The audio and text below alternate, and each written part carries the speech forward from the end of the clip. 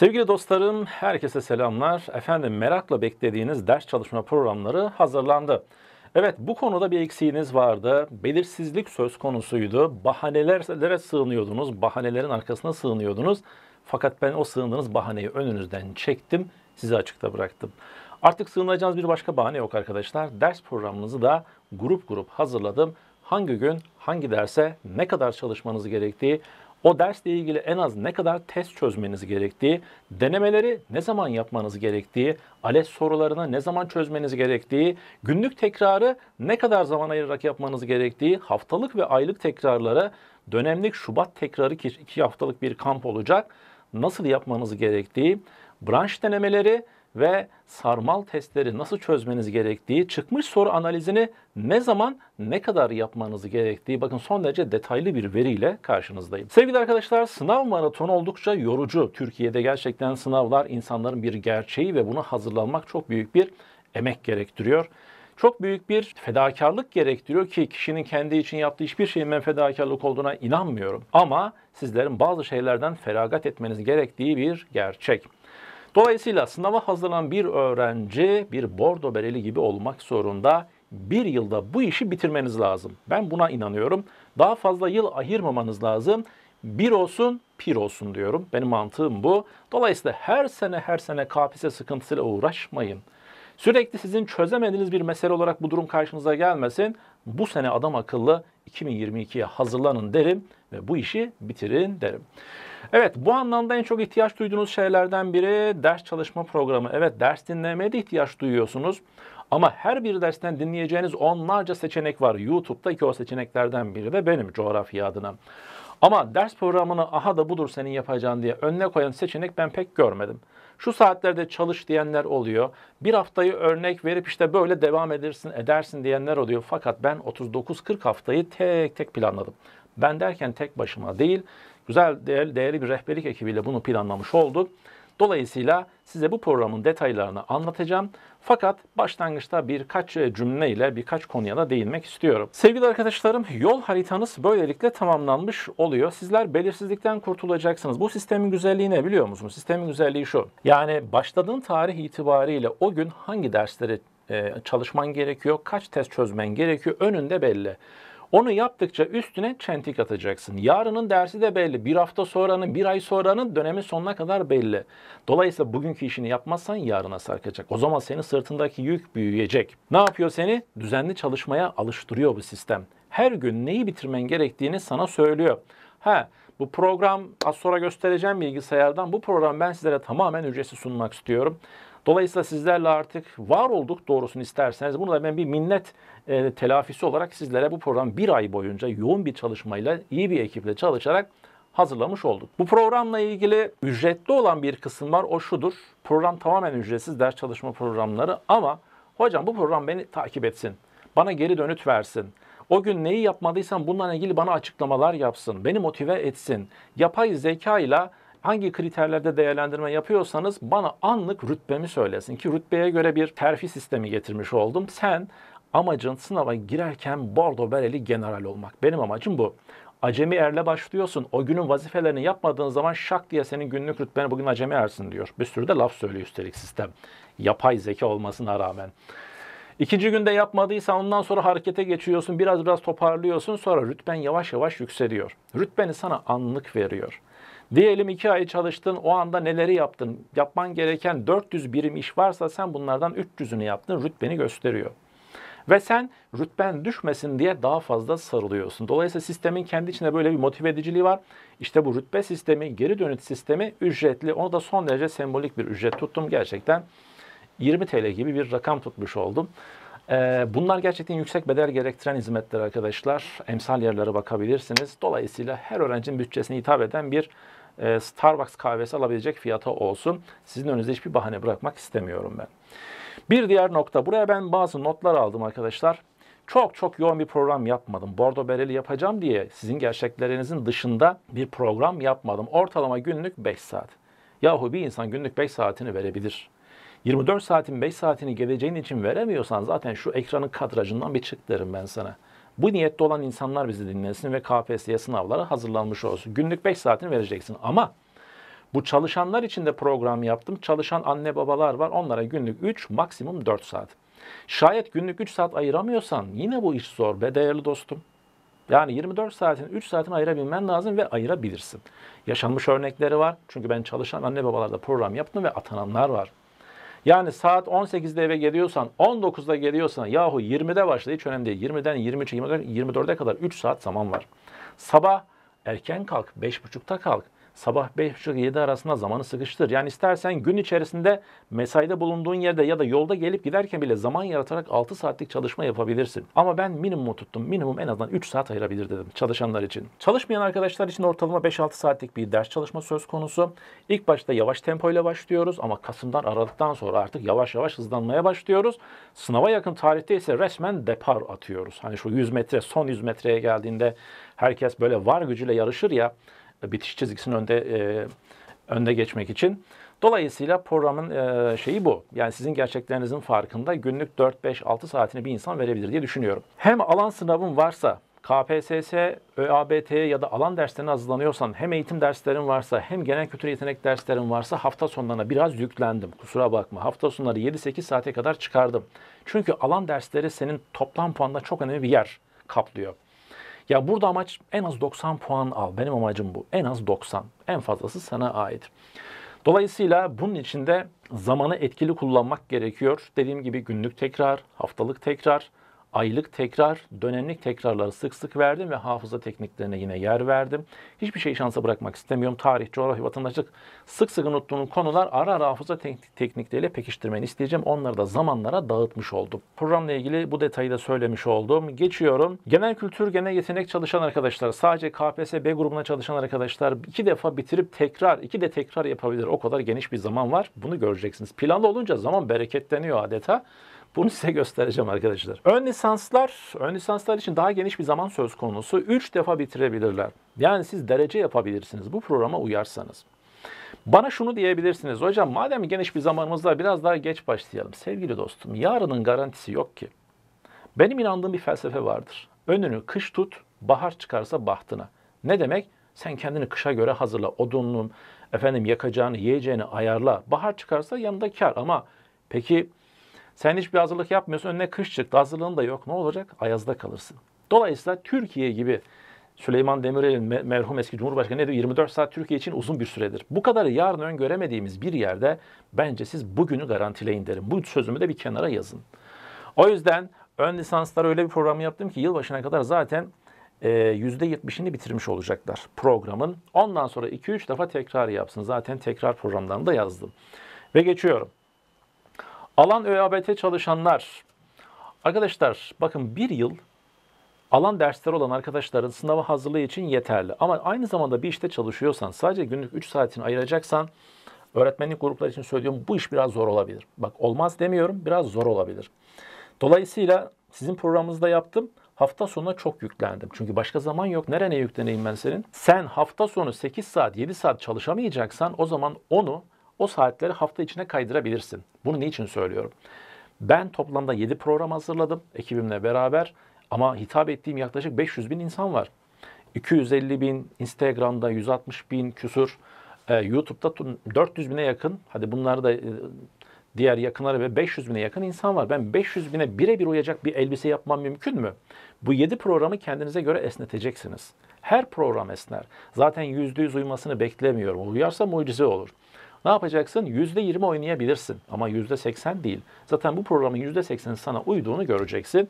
%20 kendi koşullarına göre programı ne yapabilirsin? Esnetebilirsin. Geçtim. Yani ayet hadis değil. Ya Mehmet Hoca bugün demiş illa bugün olacak. Ama başka güne kaydırabilirsin. Yeter ki o hafta o görevini yap. Benim için o önemli. Ve sen haftalık ödevlerini yaptığın zaman tıklayacaksın ya sonra göstereceğim. Rütben yukarı çıksın. O hafta o görevi yapman önemli. O gün yapamazsan bir başka gün telafisini yapabilirsin. Geçiyorum. Ee, sevgili arkadaşlar program grupları e, söyledim tekrar. KPSS ve düz memurluk, öğretmenlik, KPSS, ön lisans ve bunların çalışanlar için ayrı ayrı toplamda 7 program oldu. Bir de öğretmenlik e, olup alanı olmayanlar için de program şu an hazırlanıyor. Hafta sonuna kadar o da bitmiş olacak. Buralarda video konu ifadesini göreceksiniz. Yani mesela demişim ki 4 Ekim pazartesi günü coğrafyadan 3 video slash konu. Video ne demek? Birçoğunuz video dinleyerek hazırlanıyorsunuz. Coğrafya adına konuşuyorum. Benim ilk 3 videomu dinleyeceksin. Zaten coğrafyada kendi videolarımı baz aldım. Ben coğrafi konumu 6 videoda anlatmışım. Bir başka hocamız 4 videoda anlatmış. Kimi dinlersen dinle ama ben 6 videoya göre planımı yaptım. Sen de e, takip etmek, benden takip ediyorsan dersi coğrafyayı ona göre gideceksin. 3 video yanına konu. Videodan dinlemiyorsun, kitaptan çalışıyorsun. O zaman konu olarak çalış anlamına geliyor bu. Yanına da 2 saat yazmışım, 3 saat yazmışım. Dolayısıyla o saatte video değil de kitaptan çalışmak istiyorsan konu olarak kitaptan devam edebilirsin. Paragraf soruları her güne 20 tane paragraf sorusu koydum. Çünkü paragraftan çok fazla sıkıntı yaşıyorsunuz. Paragraf soruları da zor gelmeye başladı. Şayet gerçekten bu sene bu iş garanti olsun diyorsanız hem paragrafı hem problem matematikten problemleri iyi çözmeniz gerekiyor. Matematiğe mesafeli olduğunuzu biliyorum ama ben programa matematiği yedirdim. Fakat hocam ben matematiğe alerji duyuyorum, görmeye dayanamıyorum ve ne yapsam da olmuyor. Bir soru için bir ay ayırıyorum. Hayır efendim tamam sen bırak matematiği. Sen onun yerine diğer derslerini fullemeye bak. Yatırımını diye bak bu konuda esneme yapabilirsiniz. Ya da matematiğin olduğu yerlere alan derslerini ayırabilirsiniz. Ama ben derim ki en az 15 matematik yapacak şekilde kendinizi hazırlayın ve programı bu şekilde uyun. Olmuyorsa da şartları zorlama. Ne yap? Matematiği diğer derslere ayırabilirsin. Geçiyorum. Günlük haftalık tekrar söyledim. Denemeler e, ilk başta çok fazla deneme koymadım. Moralim bozulmasın diye. Daha sonra Aralıktan sonra denemelerin sayısı Aralık'a kadar ayda bir tane deneme var. Ondan sonra deneme sayısı artıyor. Toplamda 44 tane eğitim bilimleri denemesi çözüyorsunuz. Öğretmenler için söylüyorum. 40 tane de alan denemesi en az. Bunlar bu programa göre yapılmış durumda. Bazı grupları 76 denemeye çıkıyor bu. Geçiyorum. Her branştan e, branş denemeleri yaklaşık 25 adet branş denemesi çözmüş oluyorsunuz. 22 saat soru analizi yapmış oluyorsunuz ve Şubat kampı da bunun e, haricinde size başka veriler, başka kazanımlar sağlıyor. Devam ediyorum. Sarmal testler dedik. ALES sorularını çözdürmek istiyorum. Sınava yakın ALES sorularına da yer ayırdım. Hem sayısal hem sözel ALES soruları. Çünkü paragraf soruları gerçekten ağır geliyor. Geçtim. Programla ilgili bazı tavsiyelerim oldu. Kitaplar tavsiyelerim oldu. Çok o topa girmemeye çalıştım ama böyle e, en azından belli yayınların e, şunları almanızda fayda var dediğim öneri listemi de göstereceğim. İleriye dönük rütbeler değişebilecek. Onu da söyleyeyim. Yani rütbeler anlık değişebiliyor. En son rütbe bordo bereli generaldir. Acemi erden başlıyorsun. Onbaşı işte çavuş, onbaşı yok çavuş, assubay, teğmen, yüzbaşı, binbaşı böyle gidiyor. Ve devam ediyorum. Hocam niye rütbe? Ya herkesin bir metaforu vardır arkadaşlar. Biz asker bir milletiz. Dolayısıyla e, o ruhumuzda, kökenimizde var ve bunda iyi bir motive edici bir metafor olduğunu düşündüğüm için bunu kullanmış oldum. Bir de şöyle bir durum var. Hocam ben programa çok önceden başlamıştım. İleriki konulardayım. Ben programda sizin sisteme girip ileri tıklayabilir miyim? Şu anda değil. Şöyle bir ay herkes bir sisteme alışsın. Ondan sonra ondan sonra ileriki haftaların bitirdiğiniz konulara şimdiden tik atabilirsiniz. Tik attıkça rütbeniz artacak. Ama şu anda değil. Şu an sisteme millet bir alışsın. Kullananlar bir alışsın. Ondan sonra diyorum. Tabii diyeceğim başka şeyler de var arkadaşlar. Videolar dinlerken hızlandırabilirsiniz. Zaman sizin için en önemli kazanımdır. Birçoğunuz zaten videolar bir buçuk hızla dinliyor. Dolayısıyla bunu yapabilirsiniz. Başka kendinle yarış, başkalarına kıyaslama. Herkesin kendi gerçekleri vardır. Kimisi günlük 8 saat çalışır, başarılı olamaz. Kimisi günlük 3 saat çalışır, başarılı olur. Yani başarının kriteri günde 8 saat çalışmak değildir. Başarının kriteri benim size sunduğum bu programda değildir. Hiç uymayarak yine başarılı olabilirsin. Sen kendi gerçeğinle yarış. Dolayısıyla başkalarını düşünüp strese girme derim. Sosyal medya etkili kullanın. Sosyal medyada bütün Telegram gruplarına, bütün Instagram hocalar hepsini takip etmeyin yahu. Bu kadar da maymun iştahlık olmaz. Benim kullandığım bir ifade var. Yedi hocalı hürmüz gibi olmayın. Bir hocadan dinle, daha sonra bir kaynaktan konuyu dinle, ondan sonra çok kaynaktan soru çöz. Her gördüğün sosyal medyaya abone olma. Gözünü seveyim. Gündemini, konsantrasyonu delik deşik etme. Ve arkadaşlar e, dershaneye gidenler yazmışım. Dershaneye gidenler hocam buna nasıl uyacaklar? Dershaneye gidenler orada gördükleri dersleri tik atacaklar. Yani illa birebir oturup bugün bunu uygulasınlar demiyorum ama hafta içerisinde o bitirdiği konulara tik atacaklar diyorum. Daha fazla zaman almadan sisteme geçeyim. Arkadaşlar şu anda bilgisayardan bu sisteme nasıl gireceksiniz? Öncelikle Google'a giriyorsunuz. Ne yazıyorsunuz? Mehmet Eğit yazıyorsunuz. Mehmet Eğit yazdığınızda benim site çıkıyor. Tıklıyorsunuz. Daha sonra siteyi tıkladıktan sonra site, siteye üye olmanız lazım. Bakın ben çıkayım. Siteye şuradan çıkış yapayım. Evet, önce kayıt oluyorsunuz. Ben kayıt olduğum için tekrardan kayıt olmuyorum. Kayıt olduktan sonra ben kendi şeyimle gireyim, mailimle sisteme giriyorsunuz. Artık sistemin bir üyesisiniz ve arkadaşlar kayıt olmak ücretli değildir Mehmet Egit.com'a. Bu arada Mehmet Egit.com'da başka hangi hizmetler var? Hafıza teknikleri, 500 soruyla genel tekrar, ders programı, hızlı okuma gibi şeyler var. Şimdi biz neye bakacağız? Ders programına bakacağız. Ders programına arkadaşlar ücretsiz yararlanabilmeniz için tamamen ücretsiz sunduğumu söyledim. Öğrenci paneline giriyorsunuz. Siz artık sistemin bir öğrencisiniz.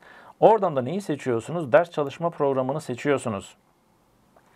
Ders çalışma programını seçtikten sonra bakın burada program grupları çıkıyor.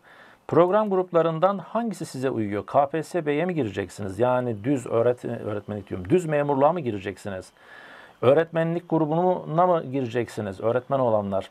KPSS A grubunda mısınız? Ön lisans ve orta öğretimde misiniz? Ya da KPSS öğretmenlik çalışan mısınız? Ebeveyn derken de anne baba ya da e, çalışıyordur, zamanı azdır. Bunu seçeceksiniz. Ya da KPSS B çalışan mısınız? Hangisiyseniz onu tıklıyorsunuz. Ben öğretmenliği tıklıyorum. Sisteme gönderiyorum. Sistem beni uyarıyor. KPSS öğretmenlik programı, genel kültür, genel yetenek eğitim programı seçtiniz. Seçim onayladıktan sonra tekrar değişiklik yapamayacaksınız. Onaylıyor musunuz? Arkadaşlar bu neden gerekiyor? Siz dakika başı o programdan bu programa geçemezsiniz. Bunu netleştirmeniz lazım. Neden? Çünkü yapay zeka sizin verilerinizi derliyor. Siz bir ona geçerseniz bir ona geçerseniz hiçbir veri gerçek algoritma göre devam edemez. Onun için başta bir kere net olarak sistem size soruyor. Emin misin? Senin grubun bu mu? Herkes kendi grubunu bilsin. Ben öğretmenliği seçtim. Anladım, kabul ediyorum. Ve e, ondan sonra ders programı karşıma geliyor. Gördüğünüz gibi 4 Ekim pazartesi. Ne ile başlıyormuşum?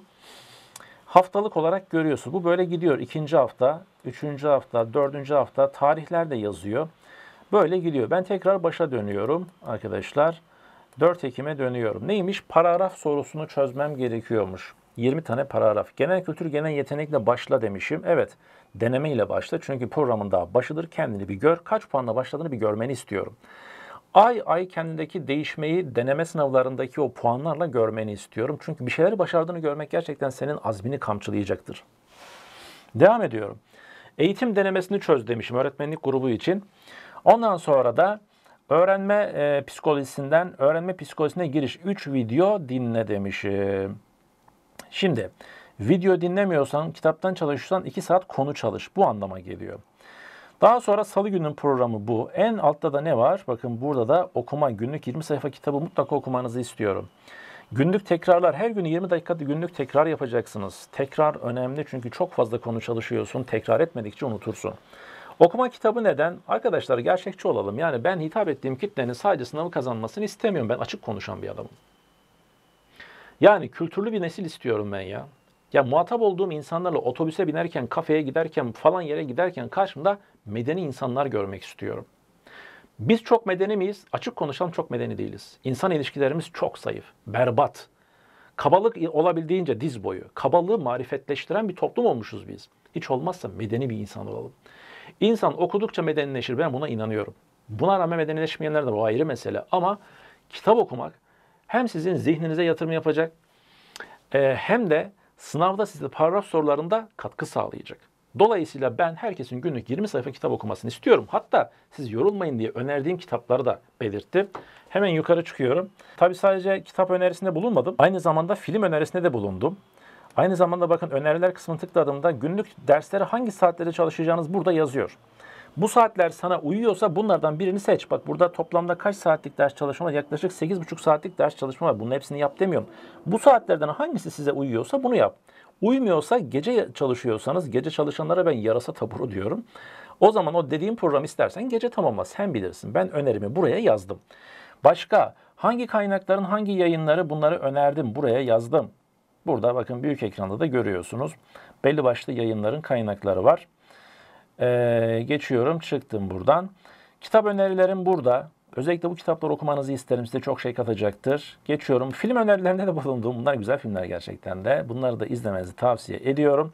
Hasılı tekrar programa dönüyorum. Yani sizin her şeyinizi düşünmeye çalıştım. Hem sosyal hayatınızı e, hem akademik hayatınızı. Bir program senin birçok şeyine hitap etsin ki sen o programa dört elle sarıl. Bunu istiyorum yani. Şimdi ben pazartesinin programı bakıyorum. Diyelim ki ben 20 paragraf sorusu çözdüm.